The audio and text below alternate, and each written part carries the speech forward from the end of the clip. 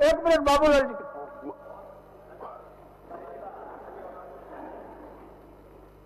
अध्यक्ष जी, हमें याद है कि पिछले बजट सत्र में भी चर्चा हुई थी। और उस वक्त हमने ये साफ़ साफ़ एक बात सरकार को सुझाव भी दिया था कि भाई जब तक आप ऑप्शन नहीं कर लेते हैं, तब तक कम से कम बालू घाट झारखंड में जो गृह निर्माण का निर्माण का काम चलता है, यहाँ कोई थानेदार नहीं पकड़े। और बॉर्डर पर आप चेक पोस्ट लगा दीजिए, कोई दिक्कत नहीं। है लेकिन बॉर्डर तो चेक पोस्ट लगा हुआ नहीं है, लेकिन यहाँ हर थानेदार या कहीं भी ट्रैक्टर लोगों की पकड़ करके लोगों को परेशान करते हैं, पैसे वसूला जाता है।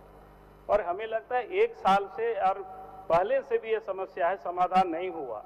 और इसलिए मेरा स्पष्ट सरकार से हम ये जानना चाहेंगे कि भाई आप कम से कम जब तक आप इसका समाधान नहीं करते राज्य के अंदर में जितनी भी निर्माण का काम हो रहा है राज्य के अंदर में कोई किसी को बालू ट्रैक्टर हो या ट्रक हो नहीं पकड़े ये सरकार को सुनिश्चित कर लेना चाहिए कोई दिक्कत नहीं। ठीक ठीक। जब राज्य बना था उस समय सबको पता है कि राज्य में हम लोगों ने तो फ्री कर दिया था बालू कि भाई राज्य के अंदर में जो भी निर्माण होगी कहीं से भी कोई बालू अपनी ला सकते हैं घर बना सकते हैं निर्माण कर सकते हैं।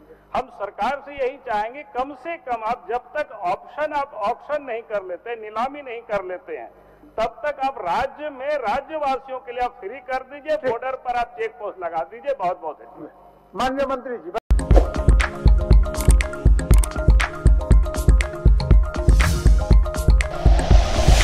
like and share videos, subscribe करें हमारा चैनल और प्रेस करें बेल आइकॉन। न्यूज़ 11 भारत। सच है तो दिखेगा।